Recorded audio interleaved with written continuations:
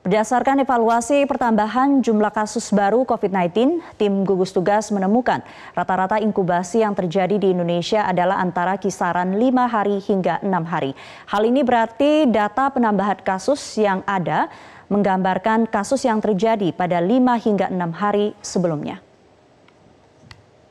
Beberapa hari yang lalu kita melakukan evaluasi terkait dengan pertambahan jumlah kasus baru ada satu hal yang harus kita pahami bahwa COVID-19 ini memiliki masa inkubasi yang terlama secara ilmiah disebutkan adalah 14 hari.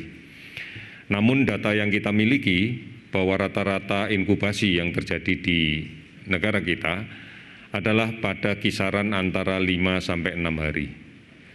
Artinya bahwa kasus positif yang kita dapatkan pada hari ini itu sebenarnya adalah kasus yang terinfeksi pada 5-6 hari yang lalu.